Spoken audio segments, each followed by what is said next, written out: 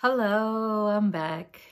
All right, so let's take a look at Taurus season.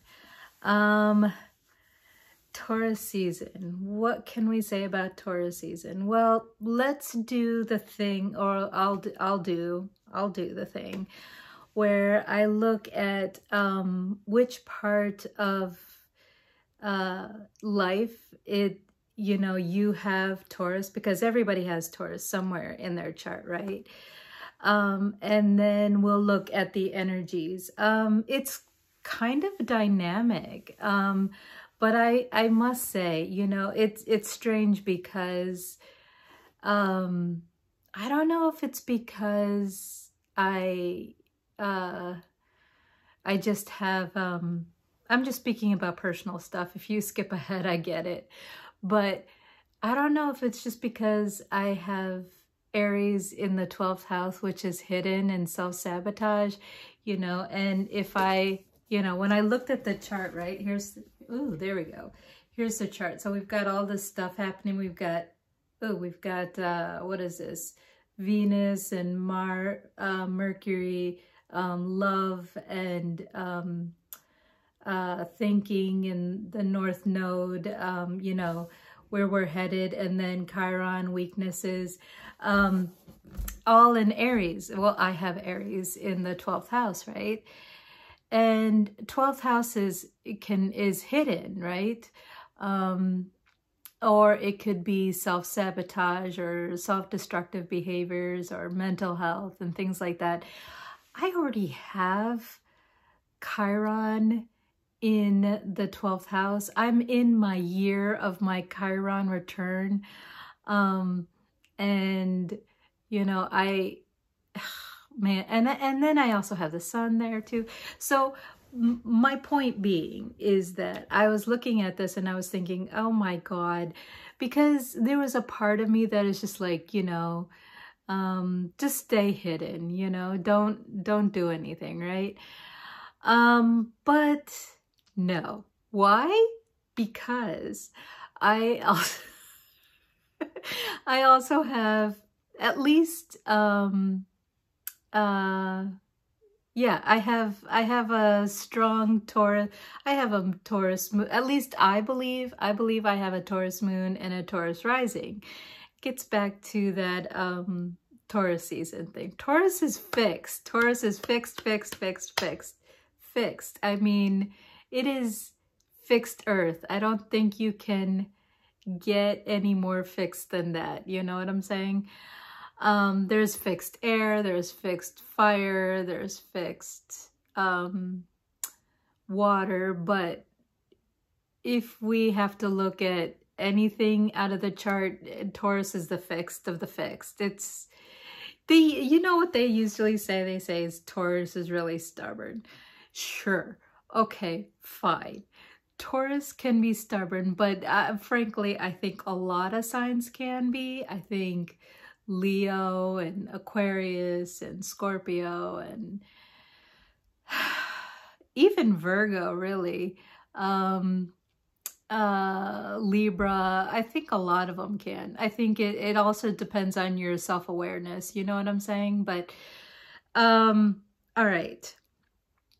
So before I just ramble on more, I'll ramble on more later, I suppose.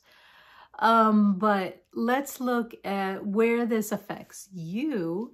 Um, and so, you know, I, I might, I don't know, because this is, it, it well, we'll see. I'm, I'm trying to think. I'm trying to think whether or not I should include the Uranus Jupiter conjunction in this conversation or should I do a separate one? I might have to do it in this one. That would be easier, wouldn't it? okay, anyway. Um, you guys know. You guys know it takes it, it takes a bit of work and extra time, you know, that kind of stuff, uploading these things. So, all right. So, let's talk uh, timestamps. Timestamps are important, right? So we'll do timestamps as well. Um, oh, by the way, if you can see back here, I was playing with some uh, Lenormand. Are, are any of you playing with Lenormand recently? I just, this is just a side note. Um, I was thinking about, uh, I was thinking about, um, you know, like there's an event coming up tonight and then also tomorrow in my local area that has to do with like tarot readers and psychics and that type of stuff. And I was like, should I go? Should I not go? I don't know. I don't know. And, um, you know, you pull cards and, um, but there's, there's this technique and it's, it's talks about, uh, like, um, basically it's where you, and again, it's, it's Kelly at Truth and Story. Um, and, um, maybe I should link the video. Should I link the video? Eh. I don't know. That's extra work. But um, let me know if you're interested in knowing which video it is. But she she basically says that, um, you know, you can use tarot, but tarot can be kind of vague, right? And then when you look at Lenormand, it can be a little bit more specific, but then you look at playing cards and playing cards can be, um, and the, the system that she uses, which I think is really easy to remember, is that, um, you know, red or hearts, hearts and diamonds, hearts and diamonds or um, if we were looking at tarot, that would be cups and um, pentacles, right? Just think about the one, like the, the suit that, um, this is so off topic, but like the ones that end up in the happy ending, right? The happy ending of, of the pentacles and the happy ending of the cups, right? That would be a yes.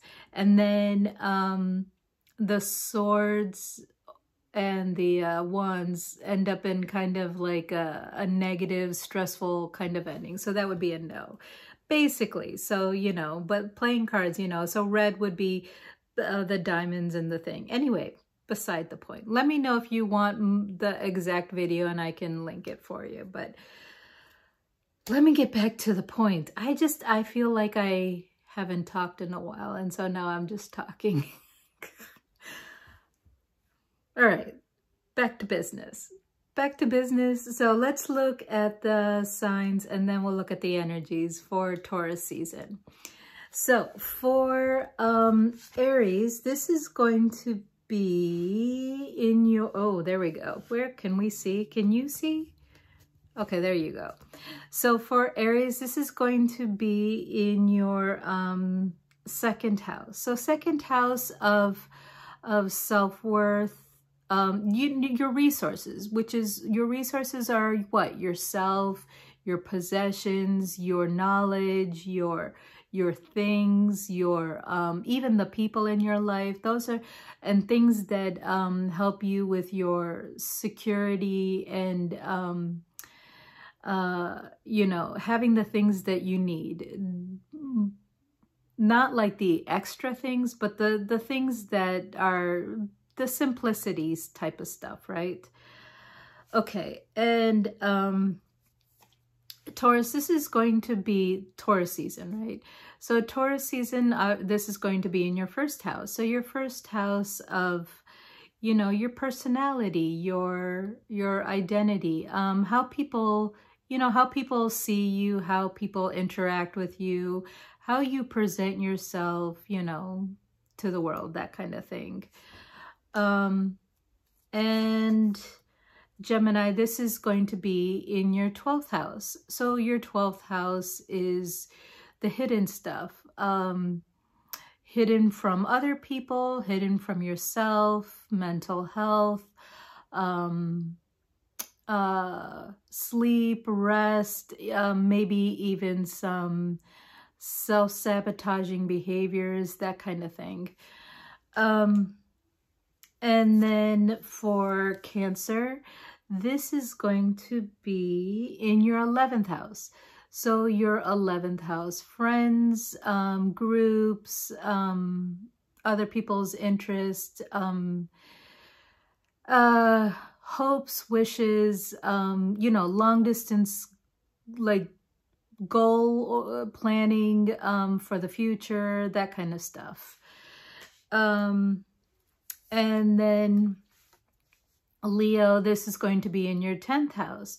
So your 10th house has to do with what? Your, how people see you um, overall, like on, on a public stage, right?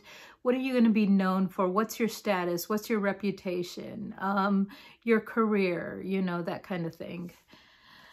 And Virgo, this is in your ninth house. So how do you connect with source, divinity, the divine, your your philosophy of life, your your global view of thing, your worldview, um, your higher learning, um, that includes college or or long distance travel, that kind of stuff, learning about other cultures, that kind of thing. Um, and uh, Libra, this is in your eighth house. So your eighth house has to do with shared resources, right? So shared resources of the money and things from your family or the banks or um, businesses or, um, uh, you know, things, they can also be things that are hidden, taboo, um, mysterious, like psychology or um, things just that, you know, we have to dig in to find out because it's not on the surface. And uh, Scorpio, this is going to be, sorry, this is in your seventh house. So your seventh house has to do with partnerships. So, you know, that, that really close person to you, whether that person is your personal, a personal relationship or a business relationship. Um, just, you know, that significant other type of person, however that significant other person looks to you. And um, Sagittarius, this is in your sixth house. So sixth house has to do with um, serving, you know, serving uh, and health and job and pets and daily routine. So how do you take care of yourself? How do you take care of the animals and and the the the work, the daily work that you have to do and and that type of thing. Um Capricorn, this is in your fifth house, fifth house of fun and pleasure. And so all of those things, your hobbies, your interests, your dating, romance, um, things you find enjoyable, children maybe. So yeah. And, um, sorry, uh, Aquarius, this is in your third house. Sorry, your fourth house. This is in your fourth house of home, family, um, lineage, um, the land that you live on, you know, it's pretty, it's pretty basic. Um, and then uh, Pisces, this is in your third house. So your third house has to do with um, thinking, learning, communication, um, you know, reading, writing, um, and also, oh, that reminds me, we're, we're still in Mercury retrograde too. Um, and uh, I'm, I'm going to have to mention that later because not everybody's going to look at the Pisces thing. Um, but, you know, even like things, local things interacting with your local community, your neighborhood, that kind of stuff. Okay, so let's look at the chart. There we go. Don't want to glare. All right. So, oh, let me just scoot over. All right. Sorry. Um, like I said in the beginning of the video, I feel, I feel like I kind of want to hide, but you know, it, uh, the Taurus, the Taurus part of me says, no, no, we're gonna, we're going to keep going. We're going to keep moving. Taurus season. Um, anyway, what is Taurus season? In case you didn't see my introduction. My introduction, the Taurus season is fixed to the fixed. It's the earth of the earth. It's the fixed earth. I mean, you don't get any more fixed than earth, right? So it's it doesn't change easily, even though we've got uh, Uranus here, right?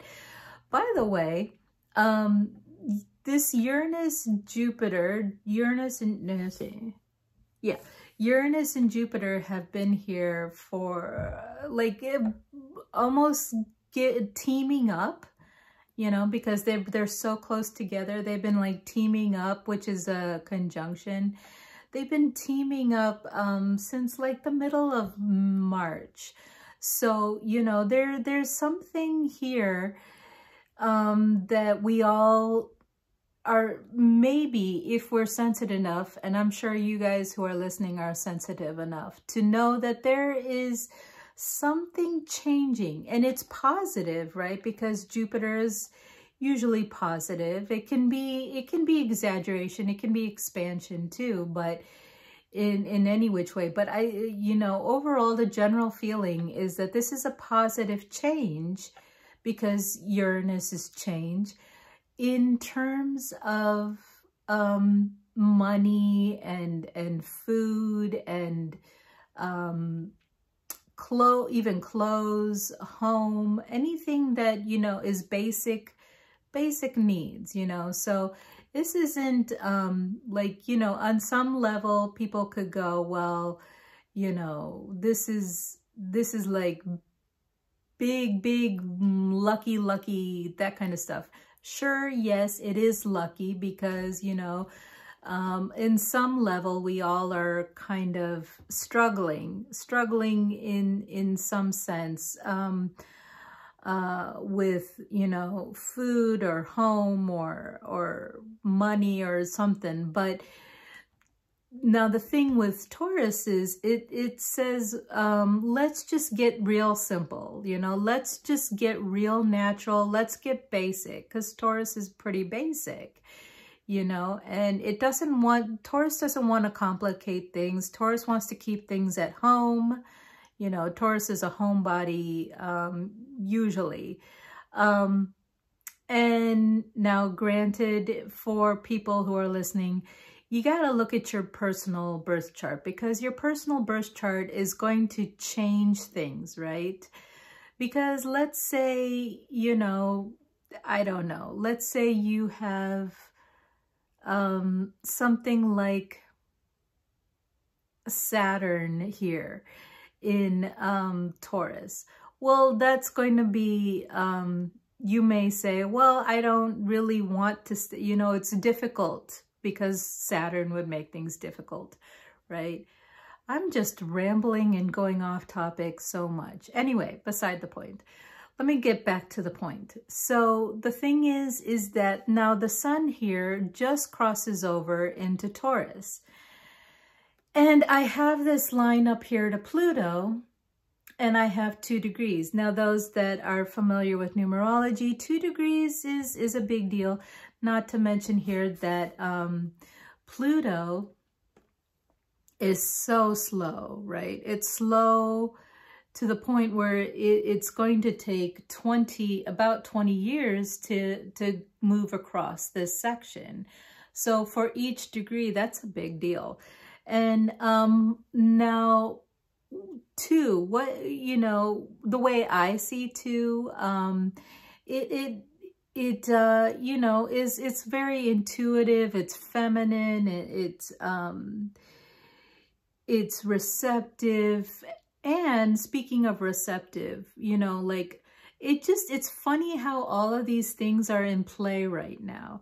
And because here's the thing taurus season is just the whole month right? It goes all the way until like may 20th or something. So but speaking of receptivity and femininity and, um, you know, those types of things and, and attracting things to us, you know, um, we have this Mars and Saturn here in Pisces. Now there is, I didn't put all the other lines here because it kind that we still have Black Moon Lilith here, but point being is if I put all these other lines, you would see it.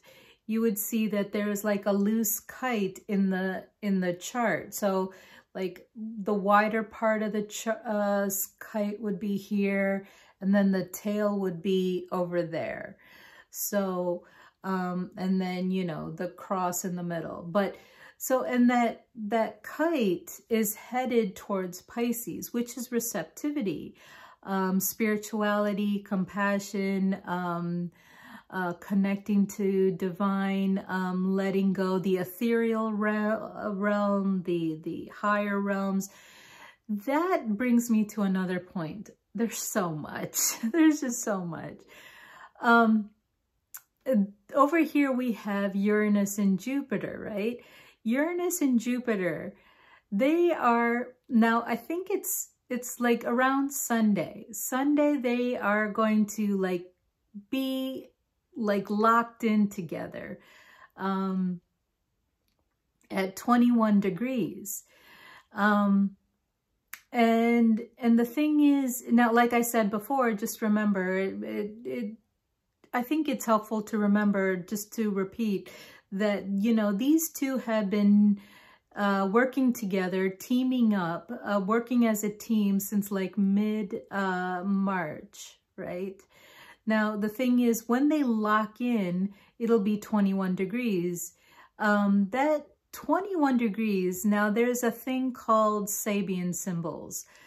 And I think that was like channeled messages by somebody in like the 1930s or something like that. But for each degree of the uh, chart, there is some sort of message. And I, I find it very poetic and very interesting. And the, the, the message here is the white dove over troubled waters. Don't you think that's beautiful? I think that's beautiful. I think it's beautiful to hear white dove over trouble. Like when we think of white dove, it reminds me of peace, you know?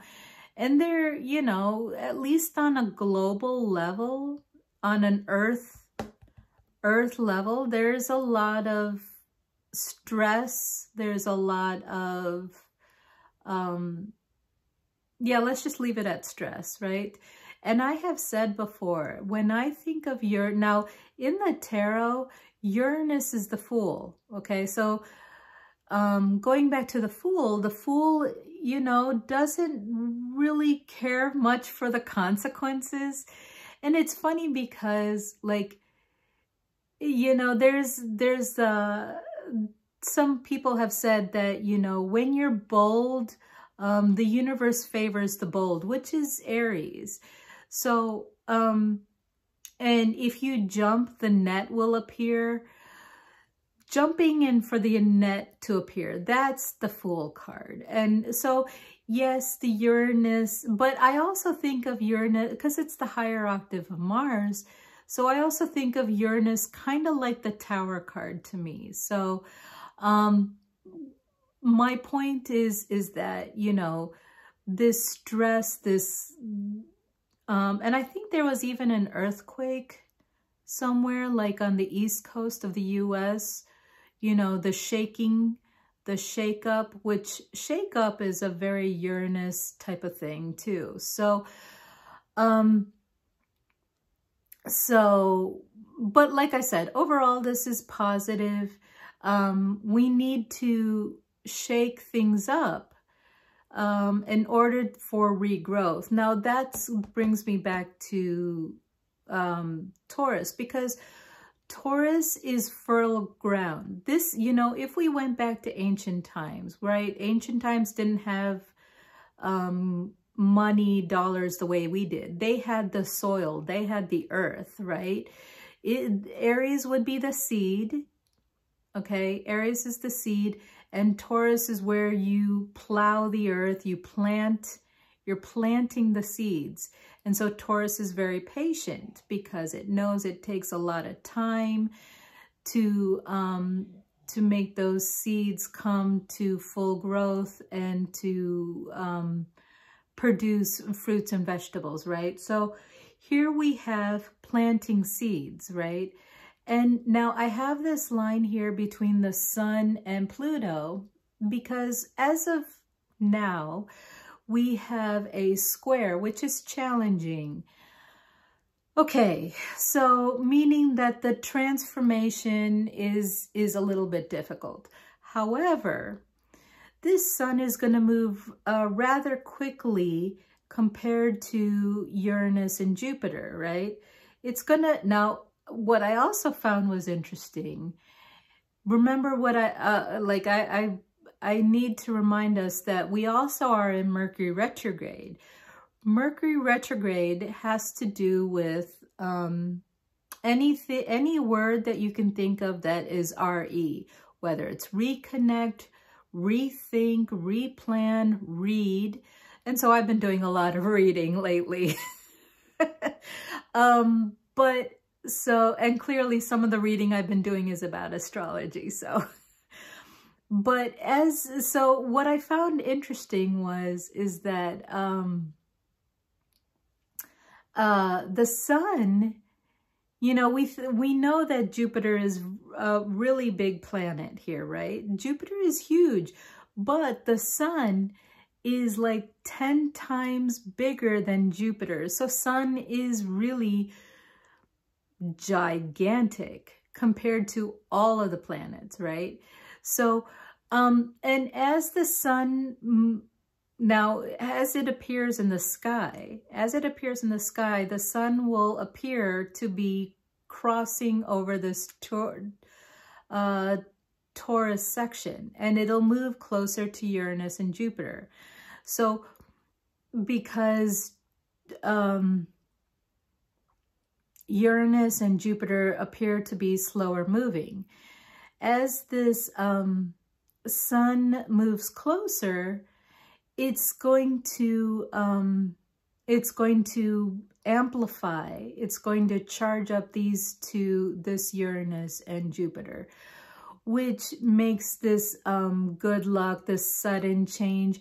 Now, the thing with Uranus and Jupiter, it's also connected because Uranus is a ruler of Aquarius and um, Jupiter was the ancient ruler of Pisces. But both of these planets have to do with knowledge, understanding, um, global view, big picture thinking.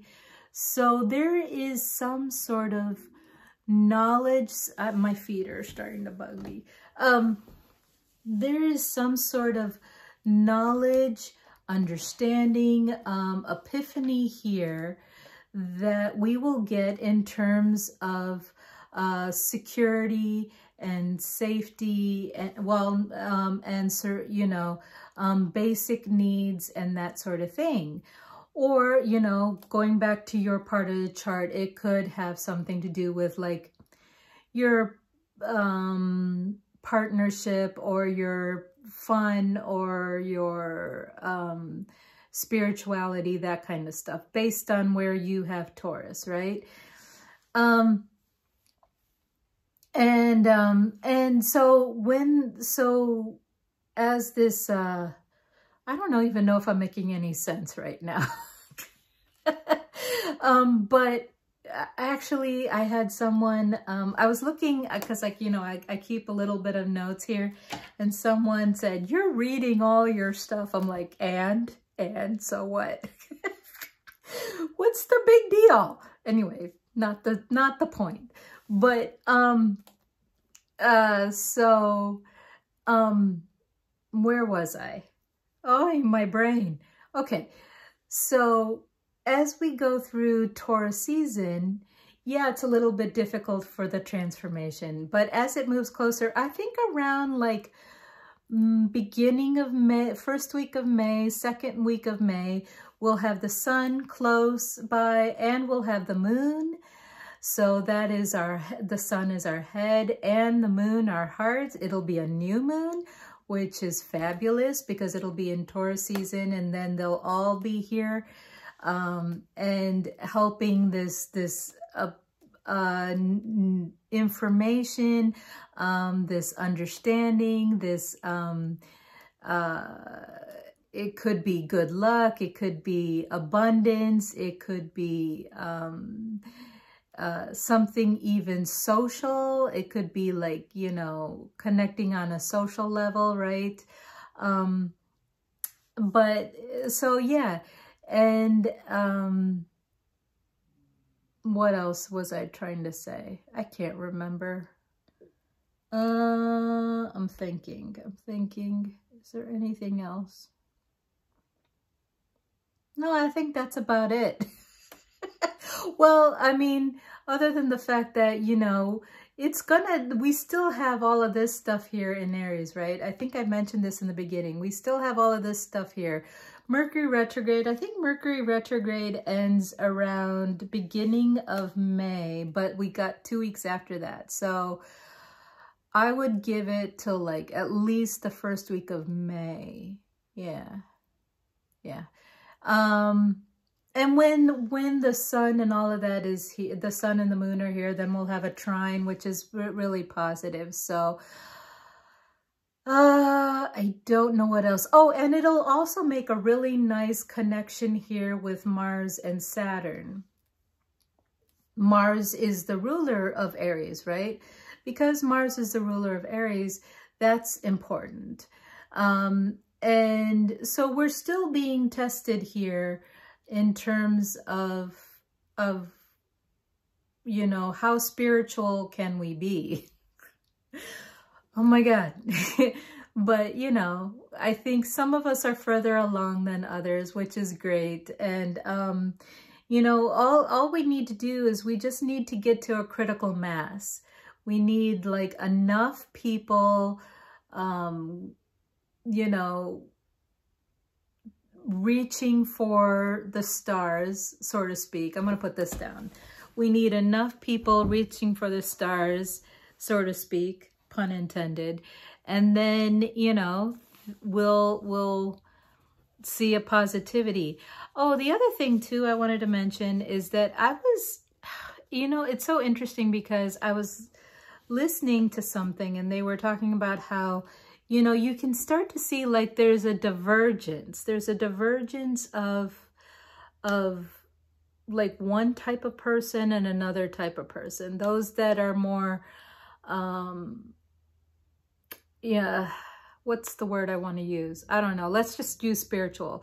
And then those are that are like, you know, the, the, there's a 3D type of person and then there's like a 4D, 5D type of person. And, and it's interesting, you know, how how we can see that even to like maybe in, in our own family or, you know, with friends or groups or that sort of thing. But it could get to the point where it's it's physically it's going to even look differently, you know, and um and also it might like one group of people might become hard to see to the other group. In other words, like the the ones that are on a higher level of evolution might be hard to see to will will not be able to be um will not be as visible to the to the 3D type of group. I'm just rambling at this point. Let me just stop. um okay. Uh I tried. Darn it, I tried. Um, thank you for hanging out. And if you like, comment, uh, subscribe, I appreciate that too. Thank you. It, it, it all means so much. You know that. Um, but I'll just keep repeating it and I'll just keep saying thank you. Okay, take care. Bye.